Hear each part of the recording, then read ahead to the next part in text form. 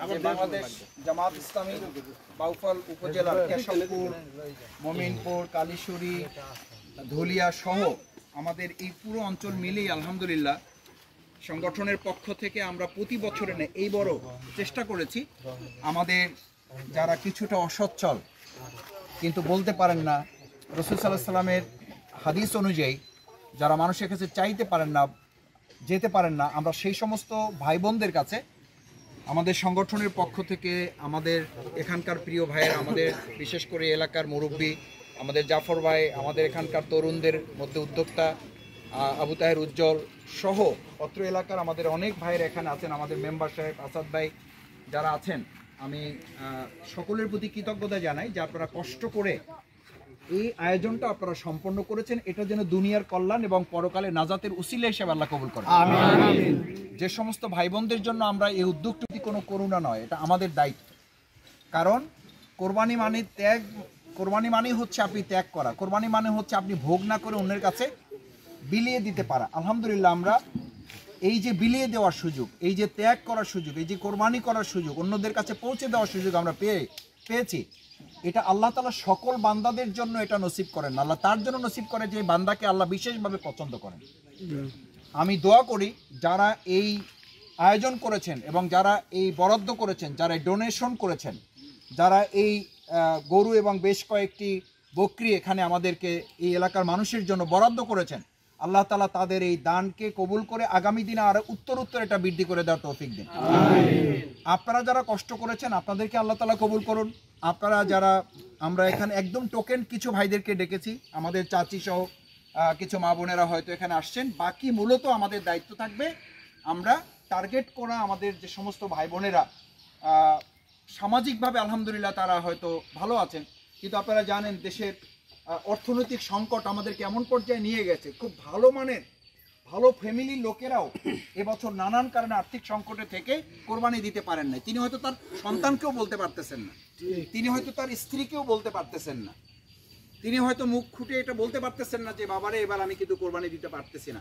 এই লোকগুলোর কাছে আমরা আশা করি আমরা পৌঁছতে পারব ইনশাল্লাহ এবং তার সন্তানের মুখে একটু হাসি ফোটানো তিনি যেন বুঝতে না পারেন আমি আবারও অনুরোধ করব ওই ফ্যামিলিগুলোর সন্তানরা আমাদের স্ত্রী তার ওই পরিবারের যারা খালাম্মা চাচি ভাবি আপারা আছেন তারা যেন বুঝতে না পারেন যে এটা কোথাও থেকে তাদেরকে দান করা হয়েছে। বরং ওই ফ্যামিলি বুঝতে পারবে যে এটা তারাই করেছে আমরা সেইটুকু সম্মান আমরা রক্ষা করেই তাদের কাছে আমরা পৌঁছাবো ইনশাল্লাহ সেক্ষেত্রে আপনারা এখানে স্বেচ্ছাসেবক যারা আছেন কষ্ট করছেন যারা এটা বাংলাদেশ জামাত ইসলামী রাষ্ট্রীয় দায়িত্ব না আমাদের, কিন্তু আমরা যেহেতু একটা ছোট সংগঠন, আলহামদুলিল্লাহ আল্লাহ আমাদেরকে কবুল করেছেন। এই ছোট সংগঠন আমরা একটা বড় দায়িত্ব কাদের বোঝাই হিসেবে নিয়েছি? আমরা শুধু এখানে না, আমরা বাউফল পৌরসভায় দিয়েছি, মদনপুরে দিয়েছি, নমালা, আদাবাড়িয়াতে দিয়েছি, আমরা অন্য অন্য ইউনিয়ন যেগুলো আছে, আমরা চেষ্টা করেছি শ্রমিকদের মাঝে, ছাত্রদের মাঝে, বোনদের মাঝে, আলাদা করে মহিলাদের আমরা টার্গেট করে তাদের জন্য আমরা করেছি। সেই কাজটুকুকে আল্লাহ তালা যেন বিশেষভাবে কবুল করে, এটাকে ইসলামের বিজয়ের জন্য একদল মানুষ তৈরি করা। এই কোরবানির অংশটুকু আমরা যে আল্লাহ তালা আমাদেরকে আহারের জন্য কবুল করেছেন, এটার মধ্য দিয়ে আমরা এমন একদল মানুষ তৈরি করতে চাই যারা জীবন কোরবানির জন্য সিদ্ধান্ত নেয়। যদি এটা করা যায়, তাহলে আল্লাহ তালা শুধুমাত্র আমাদেরকে এই দুনিয়ার এইটুকু বিজয় না, দুনিয়ার এই কোরবানিটুকু না, আমরা এইটুকু কোরবানি মুসলিমরা যদি করতে পারে, আমরা বাউফলবাসী যদি এই কাশাপুর কালীশ্বরী ধুলিয়াবাসী যদি করতে পারে তাহলে আমি বিশ্বাস করি আগামী দিন আমাদের শ্রমের কোরবানি আমাদের মেধার কোরবানি আমাদের প্রয়োজনে অর্থের কোরবানি আমাদের জীবনের কোরবানি বিনিময় হলেও আমরা এই কোরবানি থেকে শিক্ষা নিলাম যে এই জীবনের কোরবানির মাধ্যমে হলেও আমরা আমাদের এই সমাজ এবং রাষ্ট্রে বিশেষ করে আমাদের এই বাউফল থেকে ইসলামের বিজয়ের জন্য আমরা কাজ শুরু করতে সিদ্ধান্ত নিলাম। হজরত ইব্রাহিম আল্লাহ সাল্লাম তো সেই পরীক্ষায় সেই নিয়মই আমাদের মধ্যে রেখে গেছেন।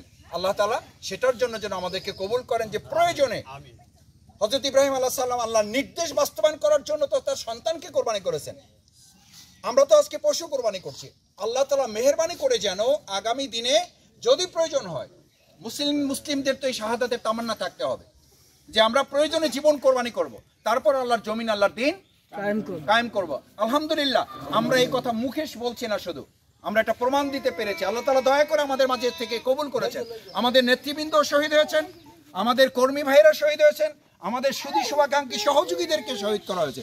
আমাদের বাংলাদেশে একটা পরিবারকেও শহীদ করে ফেলা হয়েছে। আজকে আমরা এটার সাথে বিশেষভাবে ফিলিস্তিনি ভাই বোনদের জন্য আমরা দোয়া করি, আল্লাহ তালা তাদেরকেও কবুল করুন। ফিলিস্তিনকে আল্লাহ স্বাধীন করে দিন। স্বাধীন একটা রাষ্ট্র হিসাবে তাদেরকে বাইতুল মাকদাস সহ আমাদের যে জায়গাটা আছে, সেখানকার যেন আমরা একটা মুসলিম সত্তা ওখান থেকে বিজয়ের ধারাটা যেন গোটা বাংলাদেশে না, গোটা পৃথিবীতে যেন ছড়িয়ে পড়ে।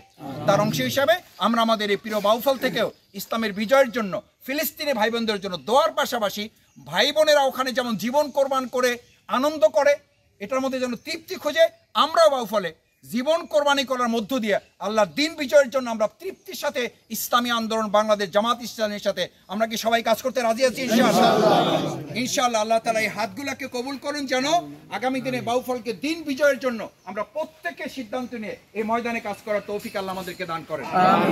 প্রত্যাশা ব্যক্ত করে আপনাদের সবাইকে ধন্যবাদ এবং কৃতজ্ঞতা জানিয়ে আজকে যারা কষ্ট করে এখানে এসছেন তাদেরকে আমি ছোট একটু উপহার আপনাদের হাতে পৌঁছাবো বাকি আপনারা সবাই নিয়ে যাবেন ইনশাল্লাহ